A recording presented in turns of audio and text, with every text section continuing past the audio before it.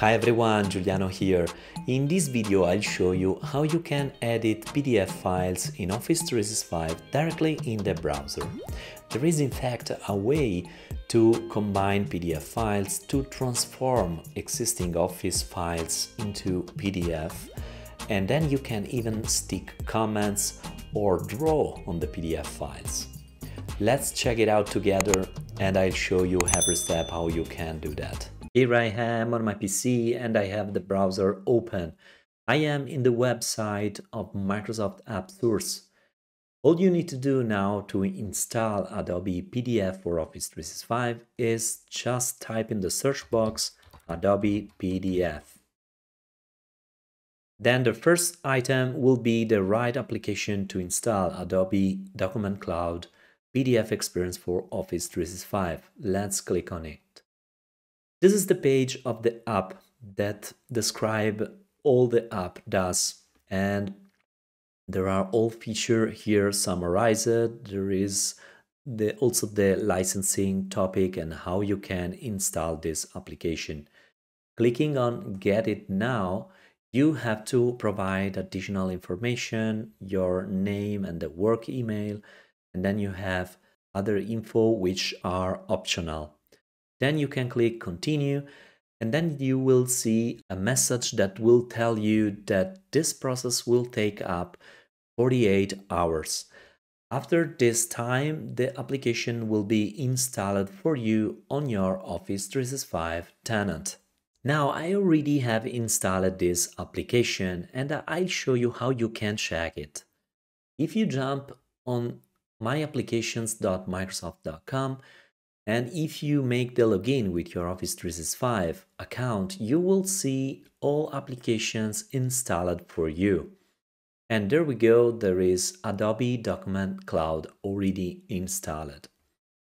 Now it's time to check out this application in action. Here I am now on Microsoft Teams and I can play with this PDF so now if I click on the ellipsis button, you can open this panel with all features available for this file. Unfortunately, I don't have PDF features here available. All I need to do is open the document library in SharePoint. Clicking on the right button, I will have now the view with the document library opened in SharePoint. Now all I need to do is click on the ellipsis button of this PDF file and I have this option available now, Adobe Document Cloud. Here I have three features, organize pages, I can export PDF, I can combine files into PDF. So this is very useful and cool, but these all three features require a premium plan in Adobe. What I'll show you today is free feature. Then you have to go on open and there will be this new option available once you installed the app. Open in Adobe Document Cloud. Let's click on it. Here I have the PDF open now. Let's explore all three features available here. If I select this text, I have now this little panel available, I can highlight the text or I can strike through text or I can even underline text. And finally, I have this last option which copy this text. Now, if I want to highlight, I can easily do it and this text will be highlighted. Or maybe I want to just strike through. Here we go. I can even, as I said, under, underline this text. And there we go. Now I have the option here save because all changes that I made here can be saved. Let's explore additional features that I have here in the top right corner. This first one, add text comment. I can add text here and if I scroll down there is this table, I can add the text here. For example, I can, here we, here we go. I have now text written in this column. I can even resize this text box and here we go. Now it's time to move to another option. If I select the text that I added, I am able to change the color or I can even choose the font size. Now I have also this nice comments panel and this allows me to, to start a conversation on this, on this comment that I made. So I can, for example, another user can reply to me and and and write, yes, for example, you are right. And then I can start a conversation on the comment that I added on this PDF. Let's move forward on this other functionality. This add sticky note. If I click on it, I can click on the PDF and highlight this, this part. So here I can add the title should be different. And I added now a new comment connected with this point here that I added in the PDF document. If I click again on it, I can change the color. So I want to have a different color. I can pick up yellow, for example. And there we go.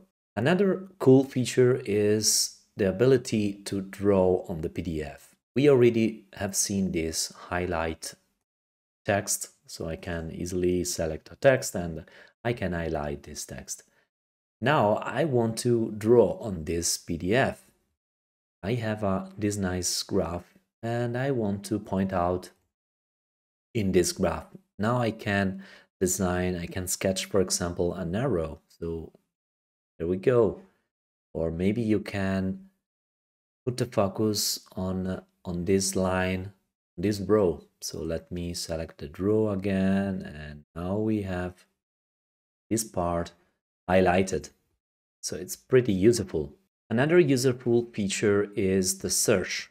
I can search a word here ante for example. And there we go all words are highlighted and i have 14 words found moving forward i have this ellipsis icon and I am able to download this PDF. I can print this PDF or I can share feedback or I can sign out. I can read legal notice or I can get help. Then there are the edit button here with all premium features available. I can organize pages, I can combine files, export into PDF or create PDF. I made all changes to this PDF all I need to do now is, is to go back on SharePoint. And if I open again this PDF, we can see that all changes are saved now. I have this text highlighted, then I have this text with underline. I draw this circle in this in this sentence, then there is the arrow. Every change that I made to the PDF are here. So there is also the sticky notes and all comments here are available. Here I am back on myapplications.microsoft.com. As a full disclosure, I would like to show you all permission used by this application. If you click on the ellipsis button here related to Adobe document, you can have access to manage your application. Clicking on it, you will get access to this page that tell you basically which kind of permission are used by this application. The first one is sign you in and read your profile. In the second section, we can see that this application uses the Microsoft Graph API, which are API of Office 365. And here we have, have full access to all files you have access to and read and update your profile. Alright, that was a quick tutorial how you can easily edit PDF files directly in the browser in Office 365.